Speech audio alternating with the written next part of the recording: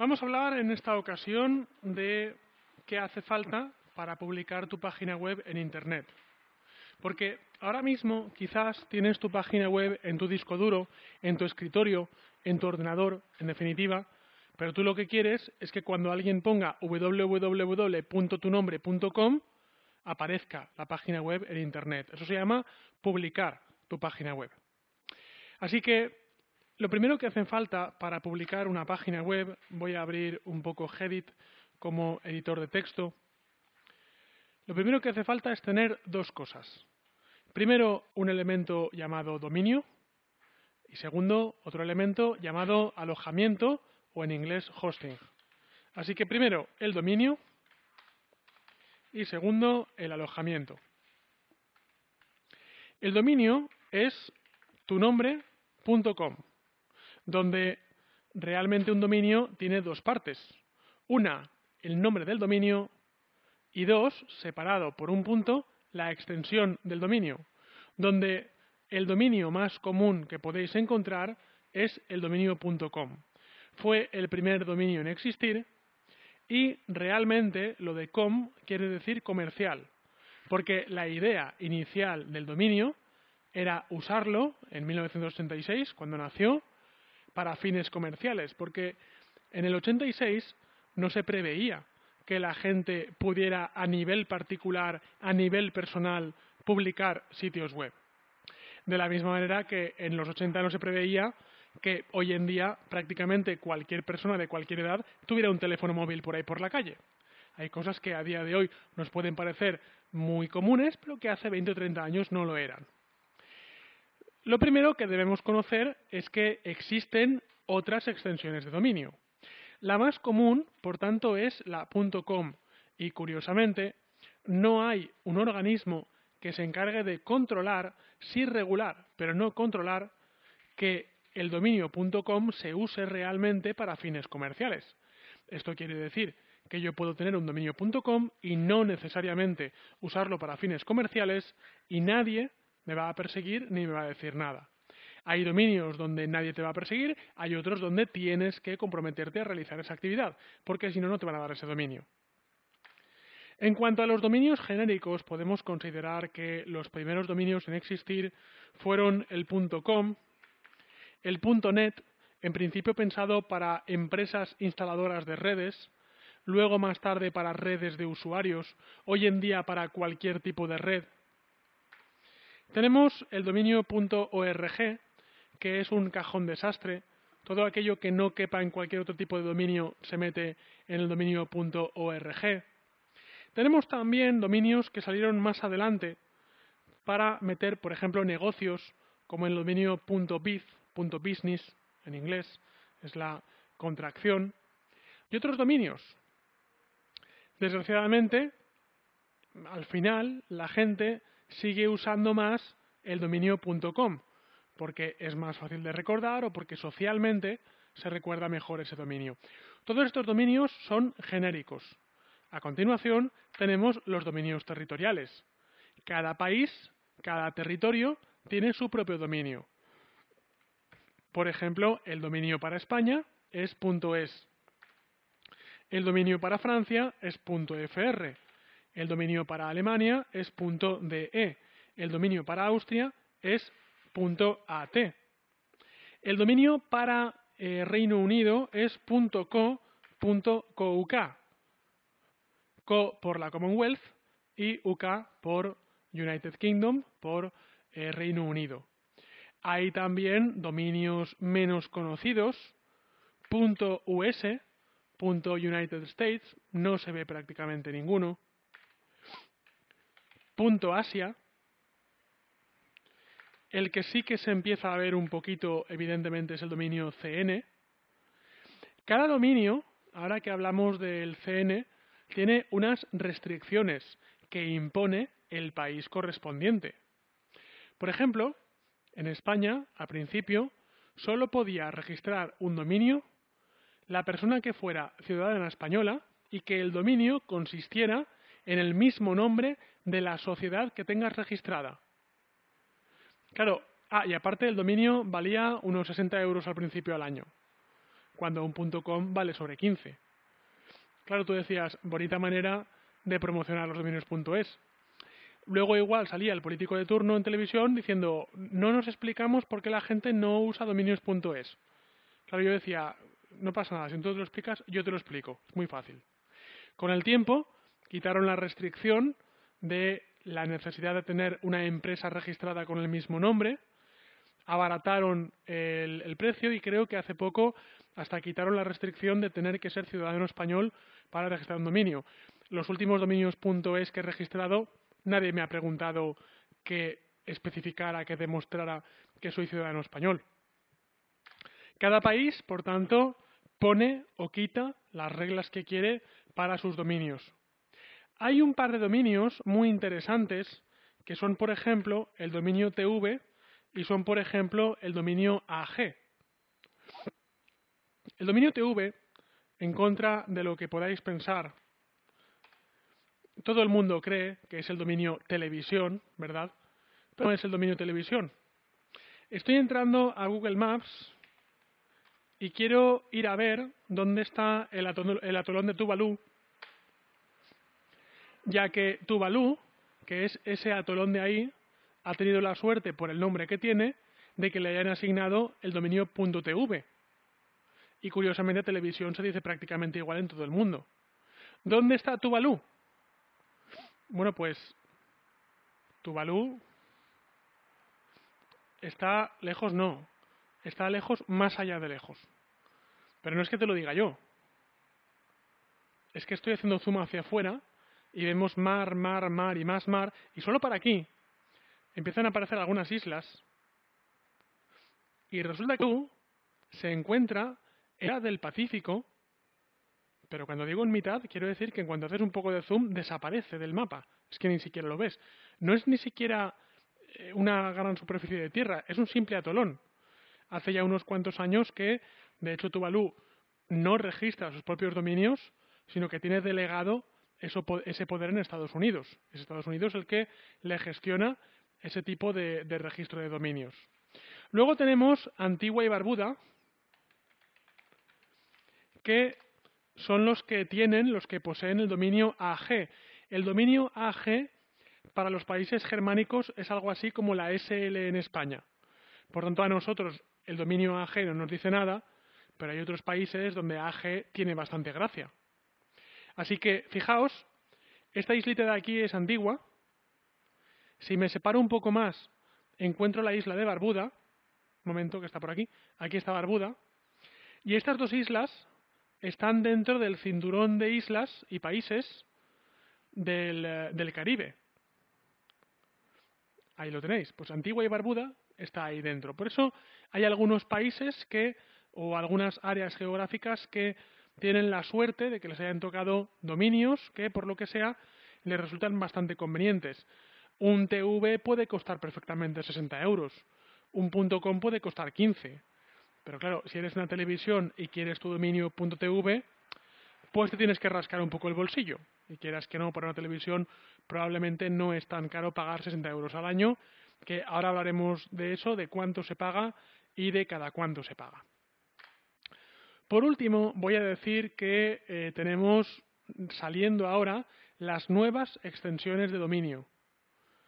Punto .blog, punto .tienda, punto .online, incluso hay punto .barcelona, punto .valencia, punto .abogado.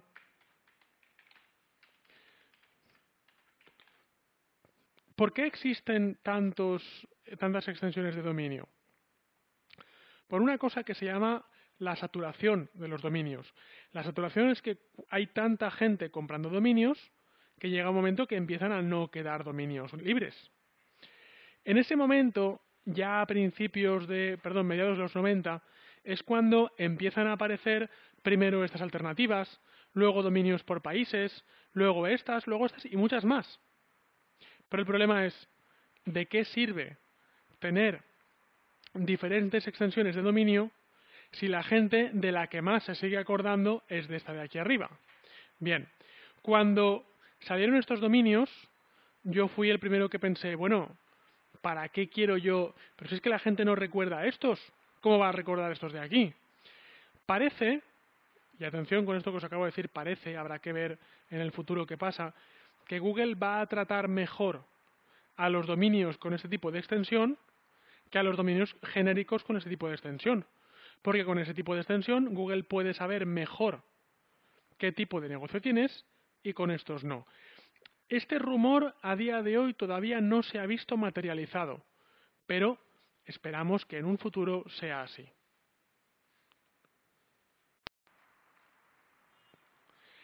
¿Hasta qué punto puedes cambiar de dominio o de extensión o de lo que quieras una vez que la has comprado? A un nivel teórico, te puedo decir que puedes cambiar de dominio tantas veces como te haga falta. A un nivel práctico, evidentemente solo te voy a recomendar hacerlo solo aquellas veces que sea necesario. Y te voy a poner un ejemplo, te voy a poner mi propio ejemplo. Hace años que me compré un dominio llamado jocarsa.com, dominio que sigo teniendo. ¿Por qué?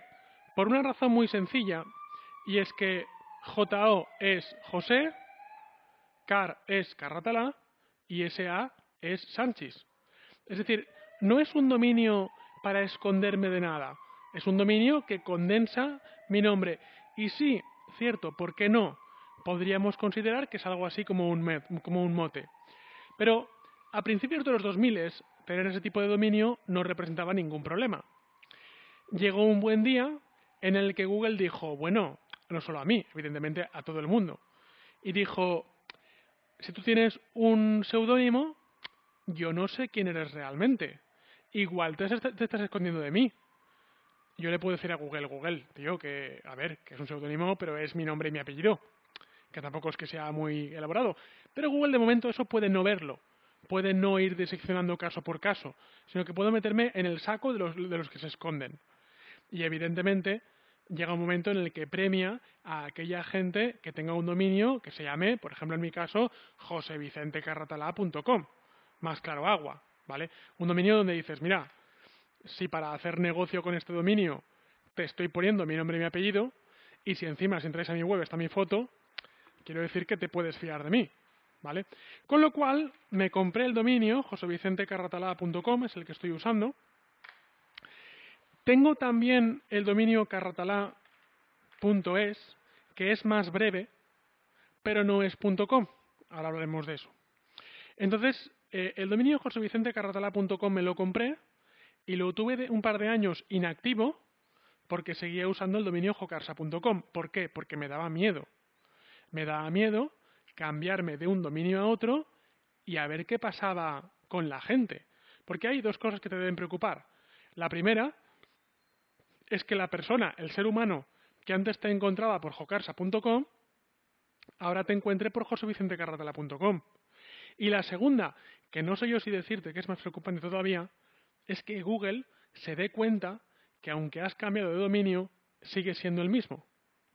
Bien, así que llegó un día que dije, mira, ahora que es verano, me arriesgo y total, si pierdo posicionamiento, como es verano, tampoco pasa mucho. Por suerte, cambié. Durante un día, 24 horas, estuve desaparecido de Google porque Google dijo, este tío ha quitado la página, ¿qué ha pasado con él? y a las 24 horas volví a aparecer e igual de arriba que posicionaba mi dominio primero, jocarsa.com, de repente posicionaba josevicentecartala.com. Ahora, estuve 24 horas fuera de línea y tuve suerte que solo fueron 24 horas. Cambiarse el dominio es posible, pero yo creo que pasa igual que como cuando te cambias el nombre de tu empresa, que tus clientes pueden pensar, ¿Por qué te has cambiado el nombre de empresa? ¿Tienes problemas con el nombre anterior? Es raro. Y todo aquello que sea raro va en contra de la confianza.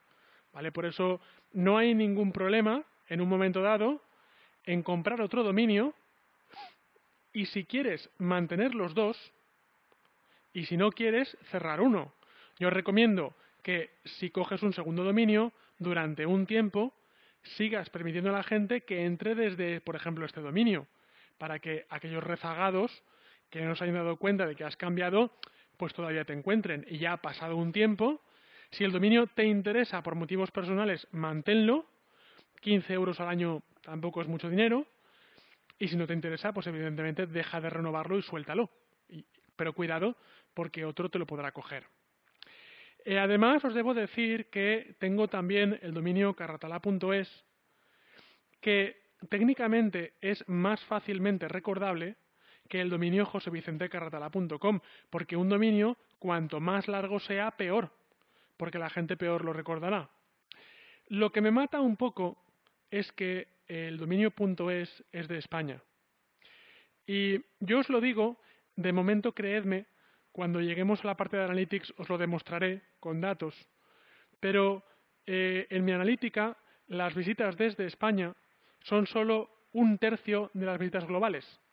Dos tercios de las visitas a mi página web provienen de países hispanoamericanos. ¿Por qué? Porque hago formación online y mi formación online se vende mucho en países hispanoamericanos. Así que, ¿qué estoy comunicando yo con un dominio .es? Hay algunos países hispanoamericanos que pueden decir español, ¿vale? Pero hay otros países que por costumbre social pueden decir, no, España. Entonces, claro, ¿qué quiere decir? España. Es como si entras en una web que, es .br, .brasil. Tú dices, ah, Brasil. Esto no va conmigo, ¿vale?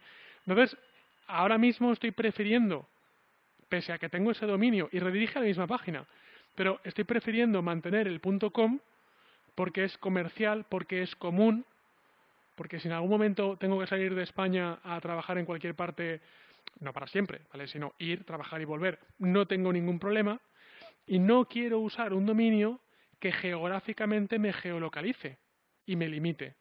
Ojo, otra cosa es que tú me dijeras, yo es que tengo un negocio y por lo que sea, porque cada uno hace negocios como mejor cree que debe hacer negocios, nunca voy a salir de España, yo solo voy a dar negocio en España. Pues te puedes coger un punto es perfectamente. Hace unos cuantos cursos un alumno me dijo que cualquier página web que haga negocio dentro de territorio español, según la ley de comercio electrónico, debe usar el dominio .es.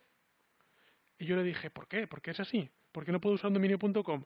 Y ese alumno me dio una explicación tan sencilla como creíble, porque cuando tiene una explicación sencilla, dices, de sencilla que es, suena creíble. Y es que el dominio.es lo controla el Ministerio de Interior, mientras que el dominio.com lo gestiona un organismo que se llama la ICANN, que está en Estados Unidos. ¿Esto qué quiere decir? Pues esto quiere decir que supongamos que yo tengo un dominio.com y supongamos que yo estuviera realizando actividades ilegales. El gobierno español, que es el responsable mío como ciudadano español, no me podría cerrar el dominio.com, porque no depende de ellos. Depende de un organismo de un país tercero. Un país con el que España, si quieres, tiene buenas relaciones. No te digo que no. Pero una cosa es tener buenas relaciones y otra cosa es llamar por teléfono y decir, oye, cerrad esta página. Y el ICANN diría, espera, espera, espera. ¿Tú de qué país dices que llamas? ¿Qué, página dices que quieres que cerrar? Y según qué ley que no es la nuestra, quieres que cerremos una página web? En cambio, como el dominio.es todo queda en casa, el dominio.es, el Ministerio de Interior tiene todo el poder de en un momento dado decir, esta página está cometiendo un delito, pum, tijerazo y cortada. Me lo explicó así el alumno y dije, ay, pues mira, pues suena bastante creíble. No se aplica, la gran mayoría de páginas españolas para hacer comercio usan el dominio.com, pero sin embargo también es importante en un momento dado conocer la ley, aunque esa ley no sea de aplicación actual. Nunca sabes cuándo puede ponerse el gobierno X duro a aplicar esa ley.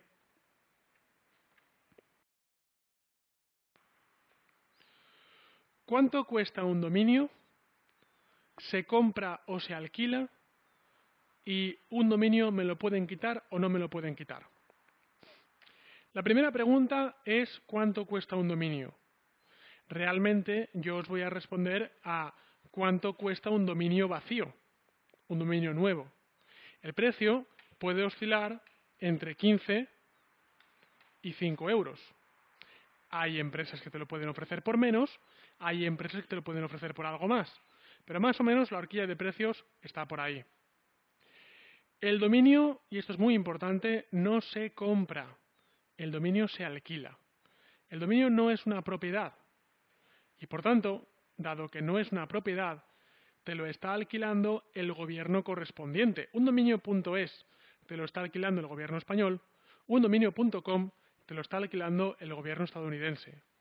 Me parece muy importante esta consideración y con esto que te voy a decir, fíjate que yo estoy usando un dominio.com ahora mismo. Pero es importante saber que o hasta qué punto estamos montando un negocio y la dirección de ese negocio, que al final es la puerta de entrada al negocio, depende de un gobierno que ni siquiera es de un país en el que vivo. Y es de un gobierno de un país dentro del cual yo no tengo ningún derecho. O sea que no os digo no cojáis dominios.com, porque yo estoy usando un dominio.com, pero una vez más os digo sed conscientes de esto y sopesadlo como un criterio de elección más cuando escojáis un dominio. A continuación, los dominios no se compran, se alquilan. ¿Se alquilan por cuánto? Se alquilan por años. Entonces lo más normal es alquilar un dominio por un año, renovable, por supuesto. También desde hace pocos años existe la opción de renovar dominios durante varios años. Cuando un dominio va a caducar el mes de antes, depende un poco del proveedor, te envían un correo para recordarte que debes renovar ese dominio. Por supuesto, tú siempre vas a tener opción de renovación preferente. Eso quiere decir que cuando se acaba la fecha no puede venir alguien y quitarte el dominio. Si tú lo renuevas antes, lo has renovado tú, nadie te lo puede quitar. ¿Qué pasa si se te olvida y lo intentas renovar un día después de que caduque? Hace años, un día después de que caducara el dominio, las empresas registradoras soltaban el dominio. Si llegabas un día tarde, llegabas tarde, te lo podían haber quitado. A día de hoy se establece una moratoria. Las empresas de registro te reservan el dominio un par de meses si luego lo quieres recuperar, pagas extra porque te lo han reservado, pero de alguna manera previenen esos tipos de olvido. Y oye, después de dos meses ya lo liberan y cualquier persona puede venir y te lo puede comprar. Y si tú dices que se te ha olvidado, pues oye, se te olvidó durante dos meses, que no es que se te olvide durante un día. Además, generalmente, durante esos dos meses, las empresas de hosting te van enviando correos para recordarte que tienes un dominio ahí en reserva, medio caducado. Por tanto, hay que, eh, tener eh, hay que tener cuidado y hay que acordarse de renovar los dominios periódicamente o incluso hay que contar con servicios de autorrenovación de dominios en la empresa en la que hayas contratado. Y, por supuesto, la tarjeta de crédito, la cuenta bancaria que esté detrás de ese pago, pues tiene que estar actualizada, tiene que tener efectivo para que cuando te carguen la tarjeta eh, realmente se cargue ese dominio. Teniendo en cuenta que un dominio es un alquiler, yo te preguntaría, ¿qué pasa si alquilas un local comercial y no lo usas? Tu respuesta sería, mientras sigas pagando el alquiler, no hay ningún problema. Es tu problema pagar un alquiler y no usarlo comercialmente. Con los dominios ocurre lo mismo. Tú puedes tener un dominio, tú puedes alquilar un dominio y no usarlo. Y no pasa nada. Siempre que lo pagues y lo vayas renovando, simplemente no pasa nada. De hecho, hay un tipo especial de dominio que se llama parking.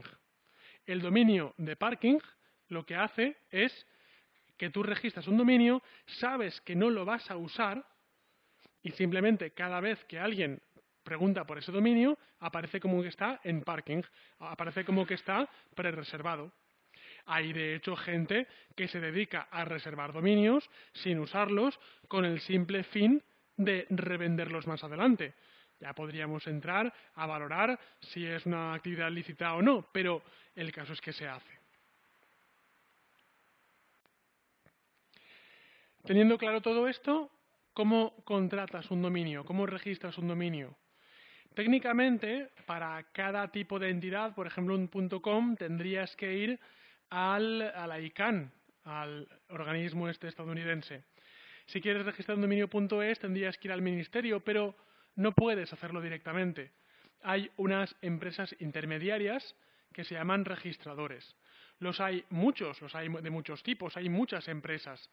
Una de ellas es One on One. Realmente podéis entrar más o menos a la que queráis.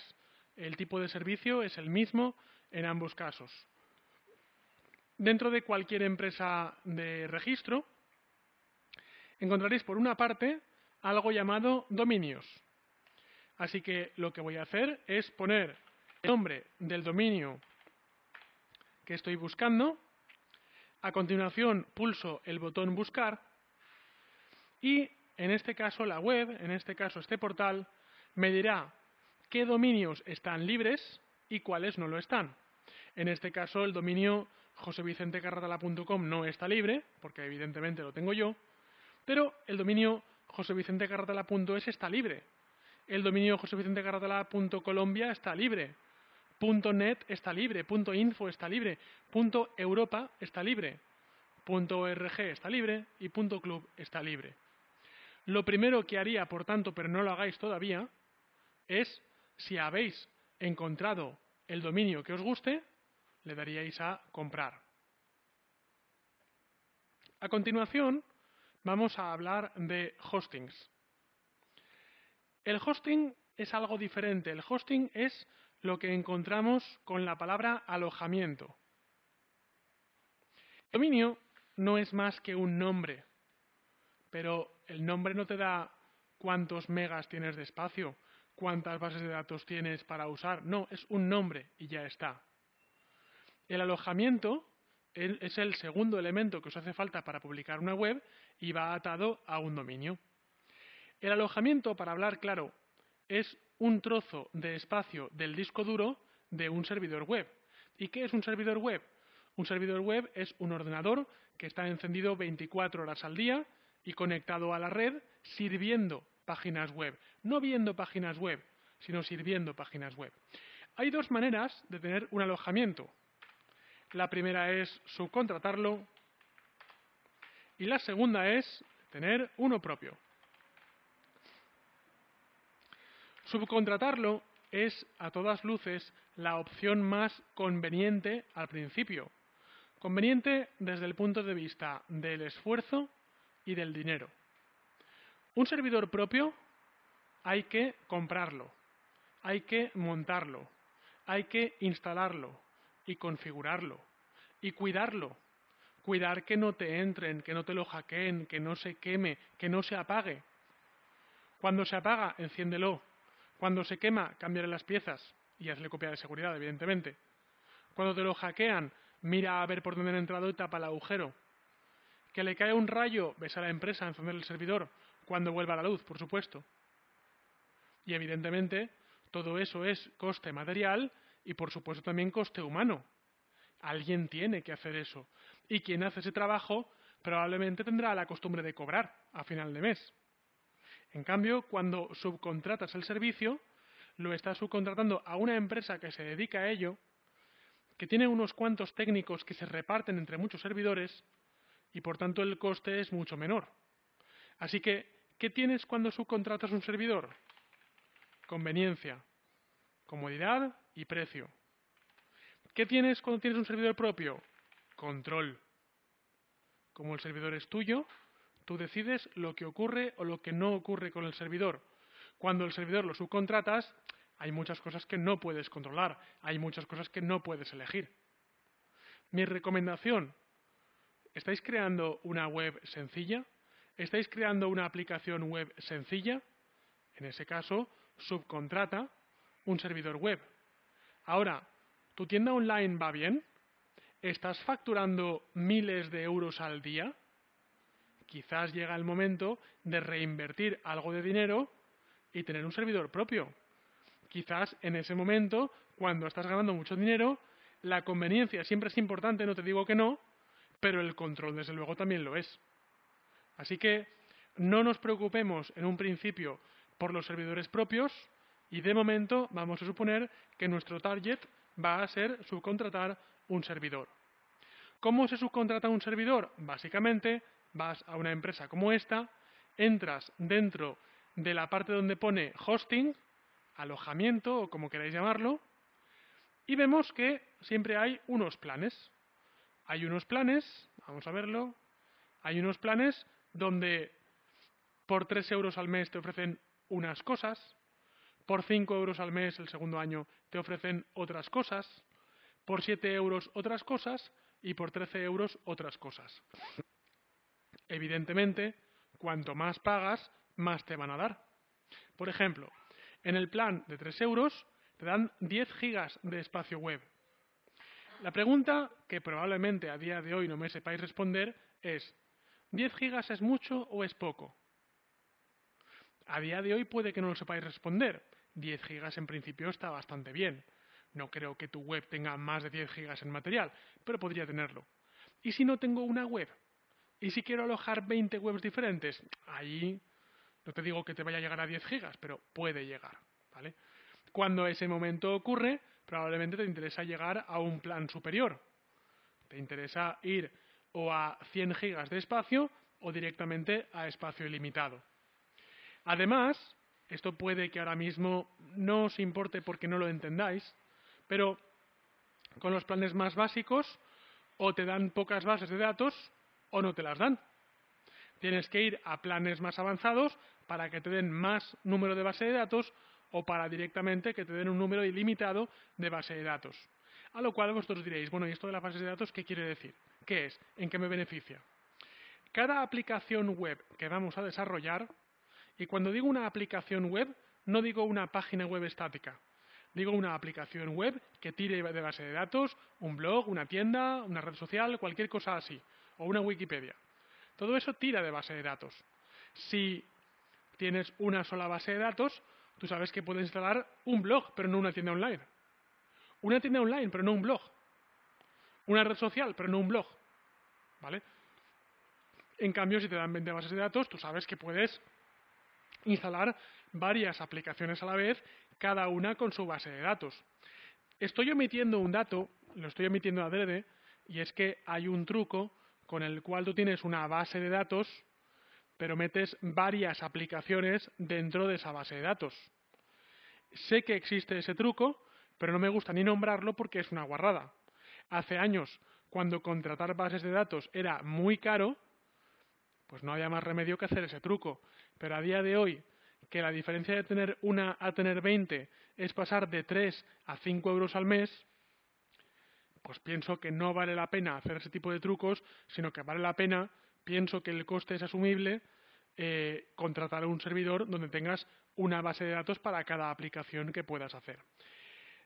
Si os tenéis que equivocar, equivocaros por bajo.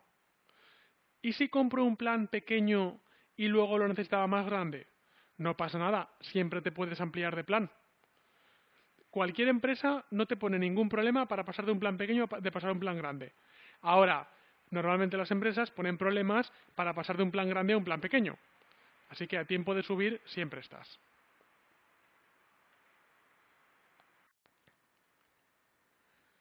Una trampa donde suele caer mucha gente es que cojo un plan basado en Linux o un plan basado en Windows. Fijaos que por defecto viene premarcado Linux. Hay mucha gente que dice, como yo en casa tengo Windows, voy a coger Windows que es lo mismo que tengo en casa. Respuesta errónea. No tiene nada que ver el sistema operativo que tenga el servidor al sistema operativo que tengáis en casa. Por decirlo muy llanamente, os voy a decir que cuando trabajáis con Linux, estáis trabajando con PHP, no le pongo por aquí, pero os lo digo yo, con PHP y con MySQL, es decir, programación en PHP, bases de datos en MySQL. Cuando te pasas a un plan Windows, aunque técnicamente pone que soporta PHP, eh, vamos a verlo, Windows, he cambiado, me voy a gestión, y observamos que pone PHP, es cierto que lo pone, pero sobre todo es porque vas a programar en ASP.NET y como bases de datos, aunque pone que soporta MySQL 5, es porque vas a trabajar en bases de datos en formato Microsoft SQL Server, la versión que sea, en este caso 2012. Así que lo que tienes que hacer es plantearte en qué vas a aprender a programar. ¿Vas a programar en ASP con Microsoft SQL Server? Cógete un plan Windows. Pero, ¿vas a programar en PHP con MySQL? En ese, caso, en ese caso, cógete un plan con Linux. ¿Qué pasa si me equivoco? ¿Qué pasa si cojo un plan Windows y lo que quería era un plan Linux? Me ha pasado muchas veces con alumnos esto. Entonces, los del proveedor, lo que sea, en este caso one on one, están tan acostumbrados a que les pase eso que la gente coge Windows por error y luego se da cuenta que quería Linux que te lo hacen en el momento. O sea, ya para no discutir, tú llamas y dices, mira, me he equivocado, quería el plan Linux, he cogido el Windows. Y te dicen, te borro todo lo que tenías, te paso de plan, en una hora vuelve a entrar que ya lo tienes disponible. ¿Vale? Por eso digo, equivocarse en ese punto no es tan malo, pero evidentemente si podéis no equivocaros, mejor.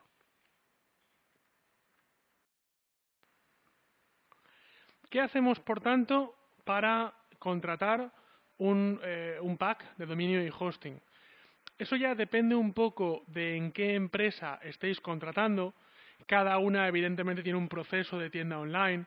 Hay algunas que te dicen primero compra el dominio, luego asociale un hosting. Esta, por ejemplo, funciona al revés. Dice, mira, si te compras, por ejemplo, el plan básico, te doy un dominio. Con lo cual dices, vale, no compres el dominio y luego el hosting. Compra primero el hosting y luego en el dominio gratuito que te van a dar, ahí cómprate el dominio. Así que en este caso lo que haría es continuar, estaría comprobando el dominio, me dice que me ofrece josevicentecarratalá.es, acepto, y le digo continuar. A partir de aquí, evidentemente, y esto, y no es por meterme, porque soy un usuario bastante frecuente, pero esto es como la página de Telepizza. Que tú pides tu pizza, le das a comprar y te dicen, ¿pero quieres alitas? Y tú dices, a ver, si quisiera las, las, hubiera pedido. No, no quiero. En la siguiente página, ¿y quieres Coca-Cola? Vamos a ver, que si la, la, quisiera la hubiera pedido. Pues esto es igual, ¿vale? ¿Quieres el plan one-on-one -on -one tienda online? No. Si quiero una tienda ya me la montaré yo. Así que Nada, continuar sin tienda online. ¿Y quieres optimización? ¿Y quieres editor web móvil? ¿Y quieres bloqueo? ¿Y quieres CDN? ¿Y quieres antivirus? Es que es igual que el telepizza, pero en lugar de alitas de pollo hay antivirus, ¿vale? Con lo cual no marquéis nada, en principio, le damos a continuar con el pedido. Y a partir de aquí, pues ya entramos en, en la oferta especial, ¿vale? O bien con precio estándar, en este caso, pues cogemos en cada momento la oferta especial que haya, igual que el Telepizza, exactamente. Así que pulsamos continuar, en este caso me dicen que me va a cargar 2,97. Ojo, el primer año, por la oferta del primer año, a partir de ahí el precio estándar sería, eh, espera que se actualice, bueno, 4,99 un mes. Yo lo que haría es cogerlo eh, durante 12 meses, pero en fin, vale, 2,97. Luego calcular, pues, 5 euros por 12 meses. A partir de aquí ya no os puedo decir más, ¿vale? Porque eh, tenemos el típico formulario de registro donde en esta página se te va a pedir los datos de contacto, podrás especificar si eres particular, autónomo o empresa para luego ver si te puedes desgrabar la factura correspondiente a este servicio o no, si eres particular. Y una vez que hayáis rellenado este formulario, en la siguiente pantalla, si pincho continuar no me va a dejar hasta que rellene los datos, evidentemente, aparecerán los datos de pago, donde tenéis que introducir vuestro número de tarjeta, el número de seguridad y todo lo que hace falta cuando pagas algo por Internet.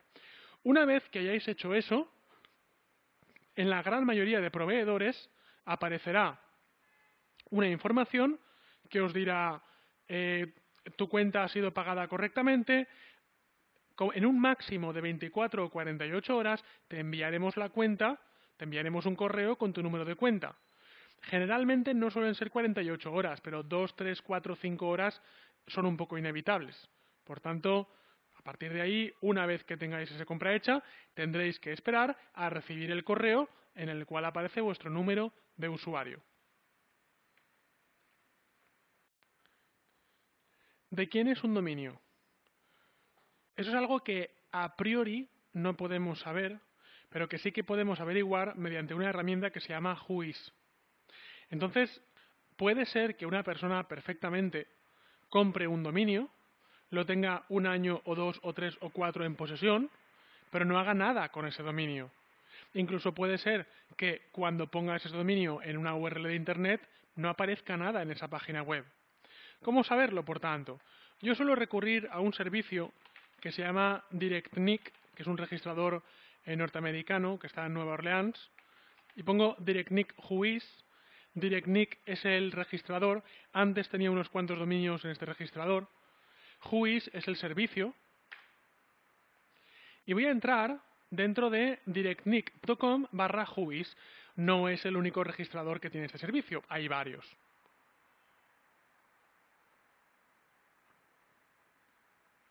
Así que si entro, fíjate que me dice, introduce el dominio, por ejemplo, voy a poner josevicentecarratalá.com e introduzco el texto. Cuidado, también os digo una cosa. Este dominio, este registrador norteamericano, puede ver algunos, algunas extensiones de dominio concretas. Por ejemplo, un registrador norteamericano no te puede dar información de un dominio .es. Para el dominio .es tienes que ir a una página que se llama red.es y en red.es hay por ahí, ahora veréis, ahora aparecerá una herramienta de dominios. Déjame que se cargue. Así es dominios y ahí tendré una herramienta whois para dominios.es. Pero vamos a suponer que es un dominio.com. Pongo la extensión, pongo la web, pongo el captcha, le digo search y como veréis a continuación, atención, me dice quién ha registrado el dominio, el registrador, me dice la fecha en la que se actualizó, sobre todo me dice el expiration date, la fecha de expiración, me dice quién lo ha registrado, me dice quién es el registrador, me dice cuál es la dirección, la ciudad, la provincia, el código postal, hasta el teléfono, si lo hemos puesto en los datos de registro, y una serie de informaciones más. Bien, ahora, ¿qué hacer con estos datos? Los mismos datos que ponéis cuando registréis un dominio son los datos que aparecen aquí en el juiz. Cualquiera los puede saber. ¿Se puede y conviene ocultar estos datos? La respuesta es mayormente no. Se puede porque de hecho cuando antes he intentado registrar el hosting me han ofrecido el servicio llamado el, uh, One-on-One Privacy o algo así. Es decir, un servicio de privacidad, un servicio de ocultar los datos. Pero ahora yo os pregunto, Google en un momento dado me va a hacer un juicio al dominio. Si yo oculto los datos del registrador del dominio, ¿qué dice eso en cuanto a la confianza de la página web? Google puede decir, ostras, si oculta los datos, ¿por qué es? ¿Porque va a delinquir? O porque se quiere proteger su privacidad. Como no lo sabe, por si acaso te coge con pinzas y te baja el posicionamiento. Por eso digo que no conviene eh, ocultar la extensión del dominio, únicamente si queréis ocultarlo detrás de una figura jurídica, pues se puede arrancar una SL, una sociedad limitada, por ejemplo, y comprar el dominio a nombre de la sociedad. Evidentemente no adrede para el dominio, porque una sociedad limitada son 3.000 euros de capital, no vas a hacer eso solo por la, privacidad de los datos. Evidentemente, estoy hablando de una persona que además tenga una empresa. ¿No quieres dar tus datos? Registra el dominio a nombre de la empresa.